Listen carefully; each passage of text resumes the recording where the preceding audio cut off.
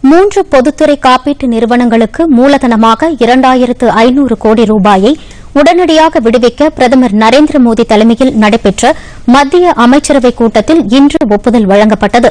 Oriental insurance நிறுவனம் ஓஐசிஎல் தேசிய insurance நிறுவனமான என்ஐசிஎல் யுனைடெட் இந்தியா இன்சூரன்ஸ் நிறுவனம் ஆகிய மூன்று நிறுவனங்களுக்கு முதலீடு வழங்குவதற்கு மத்திய அமைச்சரவை ஒப்புதல் வழங்கியுள்ளது. இம்மூன்று பொதுத்துறை நிறுவனங்களில் மோசமான நிதிநிலை மற்றும் கடனை தீர்ப்பதற்கு தேவையான முதலீட்டை கருத்தில் கொண்டு இரண்டாயிரத்து ஐநூறு கோடி ரூபாய் உடனடியாக விடுவிக்கப்படுகிறது. இந்தியா ஐஸ்லாந்து இடையே நீடித்த மீன்வள மேம்பாட்டிற்கான புரிந்துணர்வு ஒப்பந்தத்திற்கு இன்றைய அமைச்சரவைக் கூட்டத்தில் ஒப்புதல் வழங்கப்பட்டது.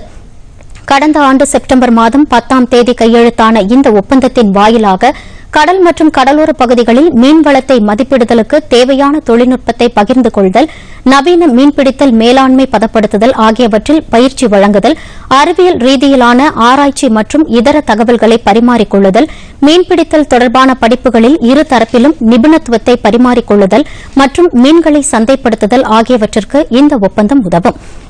இது தவிர இரட்டை வரி விதிப்பை தவிர்ப்பதற்காக இந்தியா இலங்கை இடையே மேற்கொள்ளப்பட்ட திருத்தப்பட்ட ஒப்பந்தத்திற்கும் அமைச்சரவை இன்று ஒப்புதல் வழங்கியுள்ளது.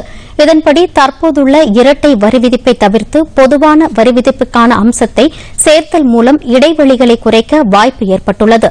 தேவையற்ற வரிகளை இதன் மூலம் குறைக்க முடியும். மேலும் வருவாய் மீதான வரிகளோடு தொடர்புடைய வரி ஏய்ப்பை தடுப்பதற்கும் இந்த ஒப்பந்தத்தில் வழிவகை செய்யப்பட்டுள்ளது.